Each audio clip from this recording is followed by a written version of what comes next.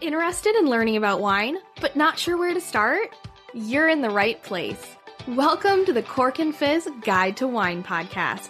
I'm your host, Haley Bowman, and I'm so glad you're here.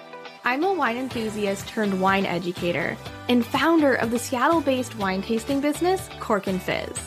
It is my goal to build your confidence in wine by making it approachable and lots of fun you can expect to learn everything from how to describe your favorite wine to what to pair with dinner tonight, and so much more. Whether you're a casual wine sipper or a total cork dork like myself, this podcast is for you.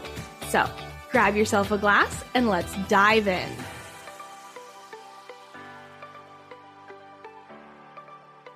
One thing that I know is true is that the world of wine can be incredibly intimidating for beginners.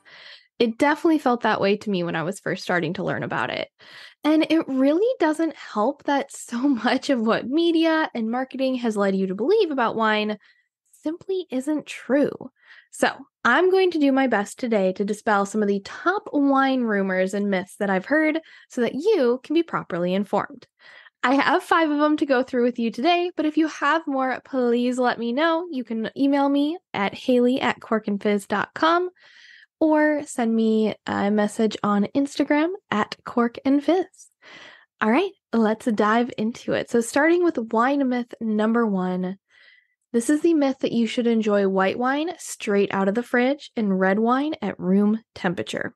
In reality, both would be so much better if you enjoyed them right in between those two temperatures. You see, the thing is, if white wine is too cold, you lose the nuance of flavor and it can end up tasting sour and bitter. And along with that, the aromas will be muted and it will make it nearly impossible to distinguish any particular smells. I actually have a story to go along with this one where I can say, even from experience, that this is 100% true. I remember when I first was getting into wine that remember that trip down in Willamette Valley? I always talk about this. This is like where my love of wine came from. Well, during this trip, we tasted a lot, we meaning my husband and I, tasted a lot of Chardonnay down in Willamette Valley, and it was incredible. I I loved this wine and I was never really much of a Chardonnay person before this. So I obviously had to buy a few bottles while we were down there. So I remember bringing some back and and I can remember having it in the fridge, pouring myself a glass and being so excited I was just going to have a glass of wine. I think I was going to fold laundry because I was like, well, I need some wine if I'm going to do this very boring chore. So I poured a glass, took a sip, and oh, the utter disappointment I felt when that wine tasted nothing like what I remembered. And so sadly, I set the wine on the counter and just went to go fold the clothes without any wine. I mean, I know it, it doesn't sound possible, but apparently it is. So I finished folding the clothes and I came back and I don't know what was in me, but I was like, you know what? Who knows? Maybe let's let's just try another sip just for the hell of it. Maybe this will be good. And turns out 30 minutes of sitting on the countertop where it had a chance to warm up and not be quite as cold as it was in the fridge it tasted just like I remembered, and I was very excited. So, goes to say, white wine, you do not want it too cold. You want to be able to experience all of the flavor that it has. Now, on the other hand, if your red wine is too warm, it'll taste flat. The smell and the taste of alcohol will be way more apparent, and you'll miss out on all the fun and subtle flavors that the wine has to offer. Another fun story on this one. They're not really fun stories, I guess, but I do have a story for this one. And honestly, it's happened more than once, but at restaurants, I am that person that will ask for a chiller if the bottle of red wine that I ordered is too warm. This has happened many times and it's happened at some of my favorite restaurants. And I'll admit it is a pet peeve of mine. I try not to be, have any like wine snob tendencies. And this is just one of those things where like, and again, I think it's that education piece and, and knowing, you know, what the where the wine should be stored and, and what temperature is best to serve it at.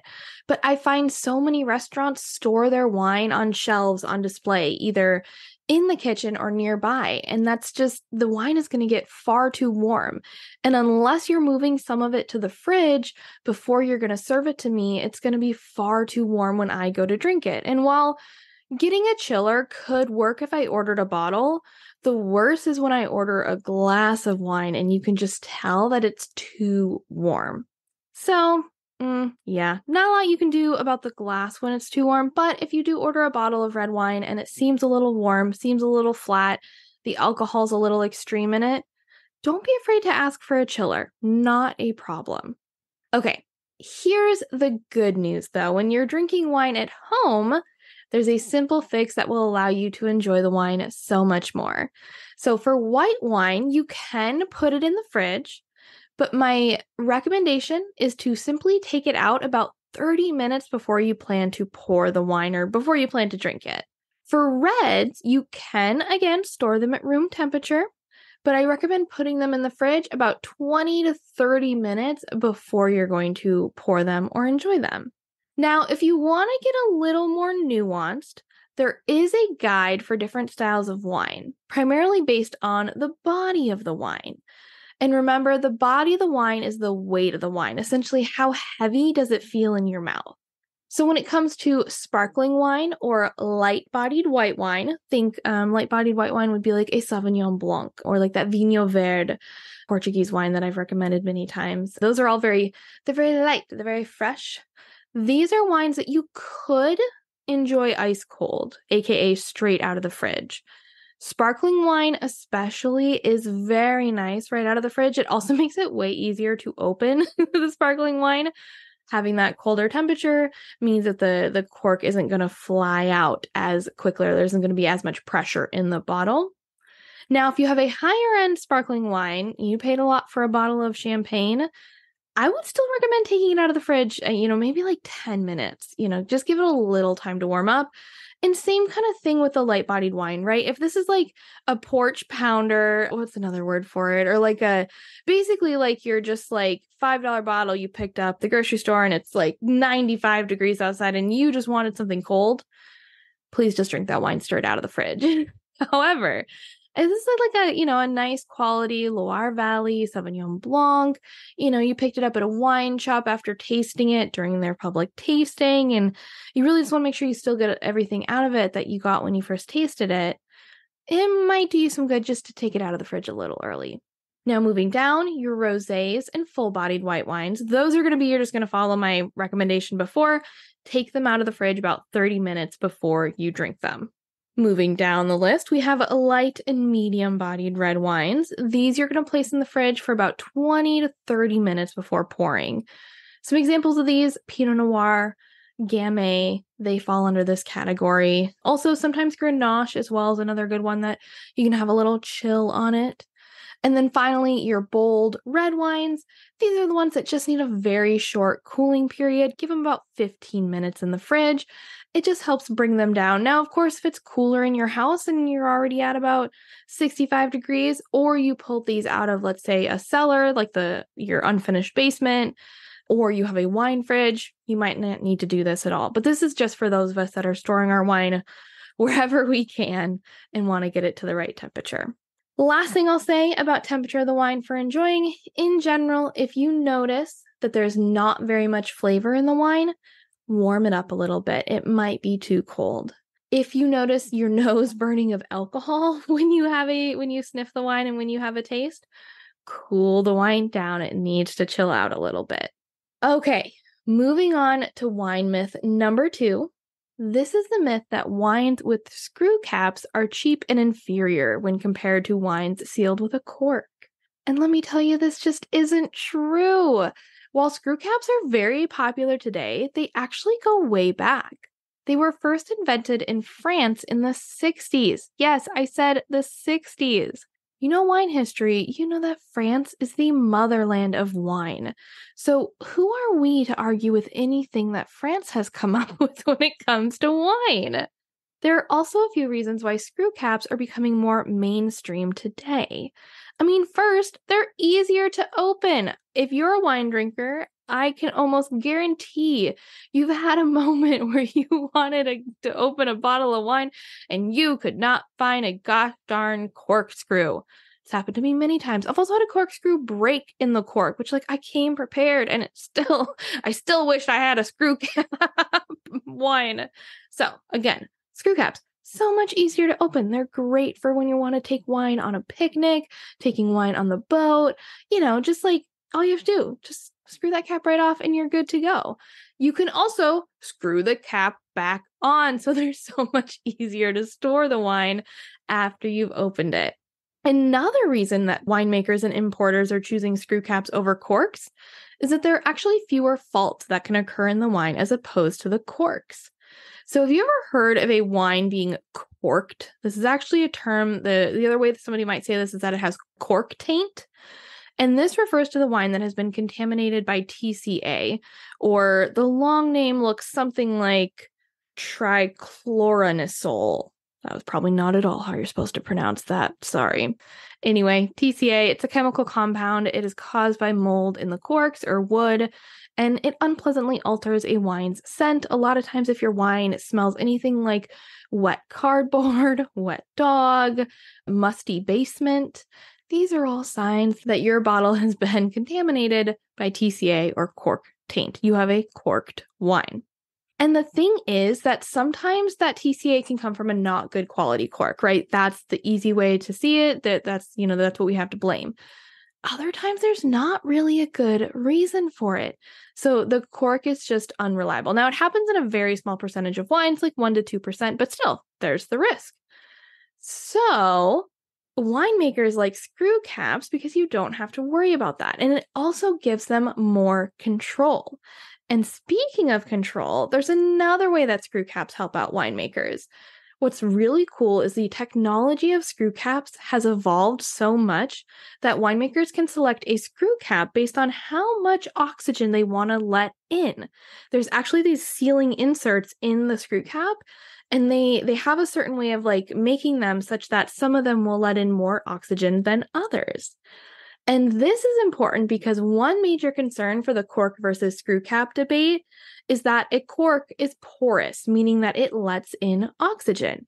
And this oxygen allows the wine to transform and age. This is why you often saw like screw caps on white wines for a while before we really, and we really don't see them on red still, but even more so. It was more on whites than reds because the idea was, oh, a screw cap, you want to drink that right away. It's no good for aging.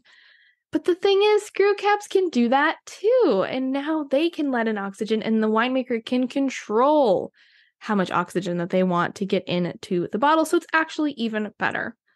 Honestly, one of the questions I, I have after learning all this is like, so why do we still use uh, corks?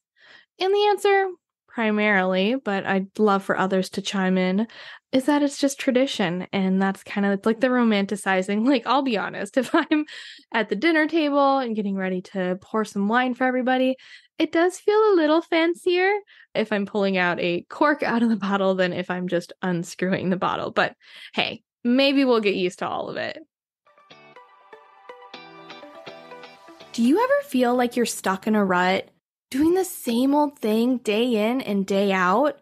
You wake up, go to work, come home, go to bed, and repeat. When life gets busy, it can be easy to fall into that routine and forget how important it is to prioritize joy and fun.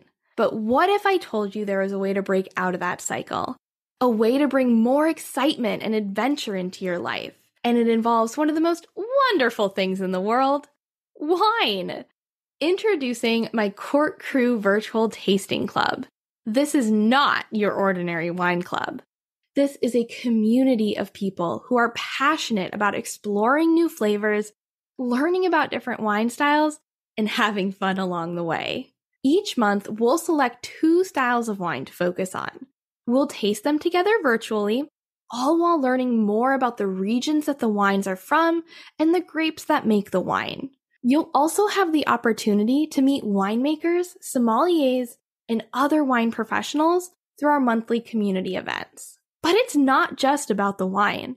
It's about breaking out of your routine, trying new things, and having a little fun. Imagine being able to impress your friends at your next dinner party with your newfound wine knowledge. Feeling confident when you walk into a wine shop, knowing exactly what to look for and what you'll enjoy. Imagine adding a little bit of excitement to your everyday life. So why not do something for you? Come join the Cork Crew Virtual Tasting Club and start exploring the endless sea of discovery and joy that is the world of wine. Sign up at my website, corkandfizz.com slash the cork crew. And don't forget to use code WINE101 to get your first month free. And now back to the show. All right, on to wine myth number three. This is one that we hear so frequently, and I'm so ready to bust this myth. This is a myth that sulfites in wine cause headaches. Now, if you heard my latest episode with natural wine expert Molly Ring, you'll know that sulfites naturally occur in wine due to the fermentation process. Now, of course, we also talked about that some winemakers choose to add additional sulfur dioxide to keep the wine fresh. But here's the thing sulfur dioxide is used on so many other foods that you've probably never gotten a headache from. One of the biggest culprits dried apricots. And honestly, any dried fruit that are still like the super bright in color. This just means that they needed to do something to keep that color showing. Frozen french fries also have it added in, as do most of the fresh and non organic fruit at the grocery store. The thing is, sulfur dioxide is just used to help keep things fresh. Now, some folks do have a true allergy to sulfites and or sulfur dioxide. That's why wine labels are required to state that the wine inside contains sulfites. But again, this is just a small subset of people. If you can eat dried apricots and not get a headache, then I hate to break it to you, but the sulfites in the wine are not causing your headaches. What are causing the headaches? Well, there's a few different pieces to this. The first one is that wine, unfortunately, does contain, well, fortunately, unfortunately, however you want to look at it, does contain alcohol. And alcohol does mess with your system. And if you are not drinking enough water while you are drinking your wine, it can very easily cause a headache. There also depends on the quality of your wine. There are some wines where they the winemaker might have more sugar added in or additional chemicals. There are up to like, you know, again, going back to that natural wine episode, I'm trying to remember what number it is, but there's upwards of like 50, probably more than that, additives that winemakers can add to their wine, and any one of those could be potentially causing headaches for you. The last one, which I just recently learned about this um, within the last year or so, is that it could be histamines. So, you've ever noticed like you kind of get like stuffed up or like more allergy feeling after having some wine, that could potentially be histamines. Now, I'm not a doctor. The things that I said, things that I read, mentioned that you could take an antihistamine before drinking wine and that could help. But again, not a doctor. Please do not take that advice as such. It is just something I read and might help. Okay, that was wine myth number three. Sulfates in wine do not cause headaches. They just they just don't, unless you're allergic, in which case you are one of the few. And and you can tell me I'm wrong. Go for mm-hmm. it. okay, moving on to wine myth number four. This is the myth that all wines improve with age. I feel like this is both like good news and bad news. It's like, yay, I get to like, I don't have to age all my wine before I drink it, but it's also like, oh no, what about that bottle that I've been saving forever? Are you telling me that I'm not guaranteed to have an amazing wine?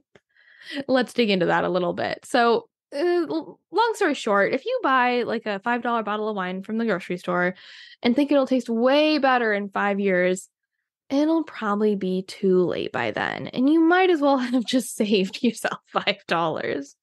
The thing is, all wine has a lifespan and it looks like a bell curve. If you're not familiar with this, imagine it's I mean it's it's a curve like you're looking at a graph and it starts at the bottom and it goes down just a little bit and then it goes all the way up to the top. We've got our mountain and then it comes all the way back down. There's that beginning part where it just went down the tiniest little bit that's the beginning when the wine is first bottled, and it needs some time to settle in. This is why you don't see wines in the store marked with the same year that you are shopping in. This is also highlighted in the movie titled Bottle Shock, which the term bottle shock actually refers to that uh, this this thing, I'm just gonna call it a thing, this thing that happens to wine once you bottle it and it needs a little bit of time to to chill out. So that's the bottom of our curve. Then as the wine ages a bit, it climbs up the curve and it reaches a prime. That's our very peak of the mountain. And that is when the wine reaches peak flavor and it just absolutely shines. This is the best time for the wine. But then, shortly after that, we were at the top of our mountain, so we have to come back down. And the wine does start to decline. It loses all of its fruit flavor to the point where it just becomes vinegar and it has reached the end of its lifespan. To be honest, most wines that are produced today reach that peak in a year or two. So, how do you know if your wine is going to age? Well, for one, wines with high acidity, high tannin, and or high sugar levels can all age very well. However, one of the most important things to keep in mind here is that higher quality wine typically ages better than mass produced wines. So, if you get your wine from the winemaker themselves or from the winery, that is a great time to ask them, when do you think I should open this bottle? Sometimes you might be, be surprised that it's earlier than you might think. If you're buying from the grocery store, in general, most of those you're going to want to drink within the first year or two buying from a small wine shop, again, just ask them and ask them when they think would be a good time to open that bottle. All right, we have made it to our final wine myth. And this is if you've ever heard somebody swirl their wine or take a sip and look at the glass and go, oh, this must be a high quality wine. It has great legs. So, first off, I'm sure the first thought that went through your head is, what the heck are legs of wine? Like, what are we looking at? Wine legs, also called tears, are essentially the droplets of the wine that form on the inside of the glass. And you can see these after you either swirl the wine and then kind of watch the wine go back down. Those are your wine legs. Or you can tip the wine to the side, or after you've taken a sip, right, you've kind of tipped it to the side and you can watch it all kind of fall back down. These legs do not illustrate the quality of wine in any way. The only thing they can tell us is how viscous the wine is and how much alcohol is in the wine. And even then, it's not a for sure science. If you want to get all sciency, this phenomenon is the result of fluid surface tension caused by the evaporation of alcohol. So, when you're looking at those droplets of wine, if the droplets move very slowly down the side of the glass, chances are you have a sweeter wine. The sugar in the wine makes it a little bit thicker. Think about like syrup. You know how slow syrup moves, and it's because it's so sweet.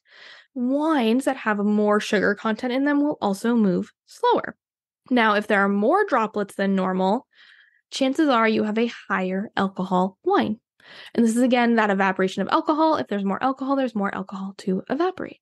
Now, keep in mind, temperature and humidity of the room can greatly affect the rate at which the wine legs form. So again, this is one of those where like it's not a like full complete science and like being able to read it and figure out oh they're moving like at this pace it must be like 12 grams of sugar like um, you're not probably not going to be able to figure that out but just know you are welcome to comment on the legs of your wine but they're not going to tell you if you have a high or low quality wine Okay, those were our five myths. Just to go through them one more time.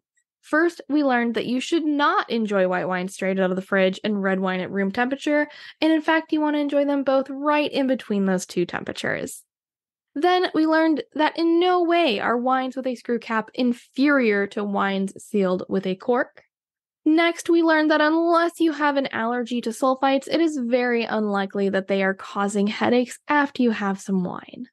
And of course, we also learned that all wines do not improve with age, which means if you've got a bottle in the back of your in the back of your closet that's been there for a while, isn't super high quality, maybe get it, try it out or maybe dump it. No, no judgment here. and then finally, we learned there's no such thing as great legs on a wine. It doesn't tell us anything about the quality of the wine. I hope you enjoyed this episode of the Cork and Fizz Guide to Wine podcast. If you loved it as much as I did, I would so appreciate it if you could take a quick second to rate it and leave a review. And don't forget to subscribe so you never miss an episode. I release new episodes every Wednesday. Next week's episode is going to be something a little different than normal. Every month with my Cork Crew, I host a virtual community event. Sometimes these events are workshops hosted by me or other people, but many times they're in the form of a Q&A with someone else in the wine world. Back in September, I had the opportunity to invite Andrew Sides, the co-founder and winemaker at Lost Draw Cellars in Texas, to come chat with the crew. We had such a great conversation that I wanted to share this chat with you. Consider this your exclusive peek into the Cork Crew Club. Thanks again for listening, and as a thank you, I'd like to share my free shopping guide 15 wines under $15. Simply head to my website, corkandfizz.com, scroll down to the bottom, and join my mailing list. Cheers!